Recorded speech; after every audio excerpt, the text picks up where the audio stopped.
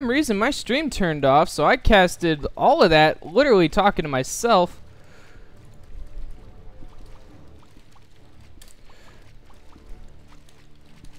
That's really embarrassing. All that talking and shit I did. I just did it to myself. Oh man, that's that's embarrassing. Ooh, Foggy trying to use the staff, but he got bashed from the Taskmaster. Actually cancels the staff. I think he wanted the staff in to focus his base, try to get some cancels done. Meanwhile, Focus is at tier 2. He's getting a Spirit Lodge, getting a Bestiary. Now I'm really paranoid that OBS is going to turn off on its own again. I really don't know why I did that. That's really weird. I keep... I, I commented the early game literally to no one. Oh well. We're here now. Alright, but yeah, Foggy not able to get any cancels on the tier 2, so no delays coming in. Focus should be getting into a pretty nice mid game here. He's going to try to kill the Quill Beast, get a little more experience. Blade Master is about a little over halfway to level 3.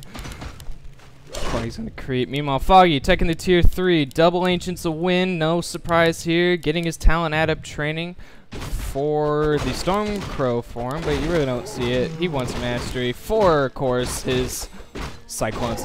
But Wand of Illusion, not a bad item.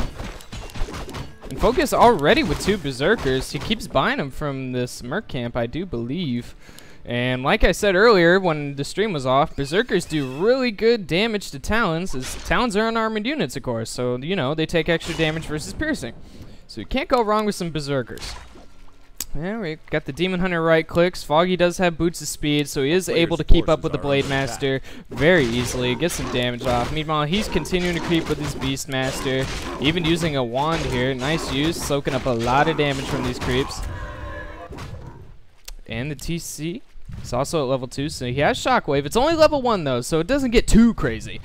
Level 3 is definitely the magic number for the Tauren Chieftain. We should see some walkers coming in. A snare for the raiders.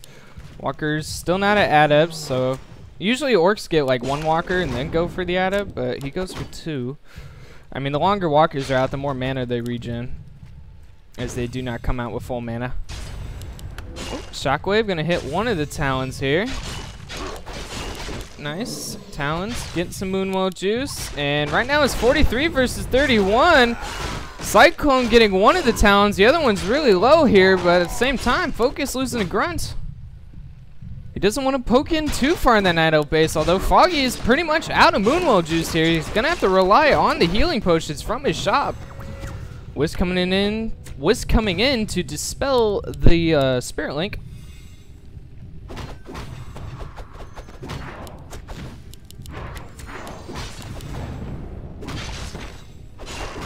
Stream still up? It is still up. I'm really paranoid OBS is going to turn off on its own again.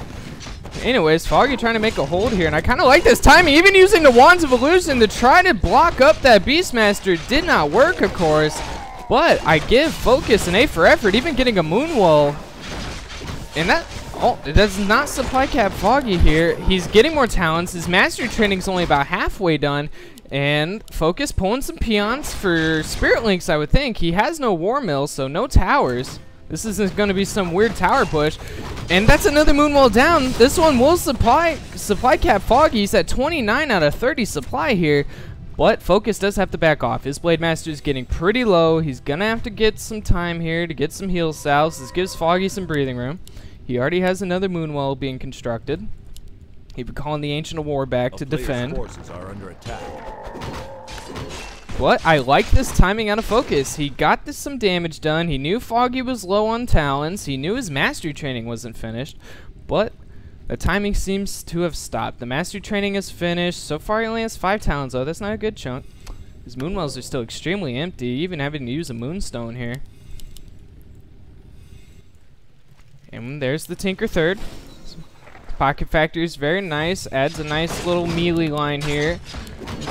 And of course, the little AoE damage they do when their life has run out, ran out, run out, whatever the proper English is. But we got a snare on the Demon Hunter. Focus trying to go for the focus. Even using an Endbone pot here, so he doesn't get Cyclone. And Foggy using an Endbone pot as well. His Moonwells are still extremely low here. He's got one with juice all the way over here. I'm not sure if that'd be in range. Maybe if he's here, he can use it. But Focus continuing the pressure here. Very nice. Foggy only can get up to 40 supply. Focus is already at 49, and he's about to kill the only Moonwell with Juice, and this will supply cap Foggy yet again. More Cyclones going down onto the blade. Tauren Chieftain's starting to get a little low, though. But I like this. Focus is continuing to keep Foggy supply capped, and he can't get that good chunk of towns out. And now the Beastmaster forced to use the TP here. And this is just looking really good for Focus right now.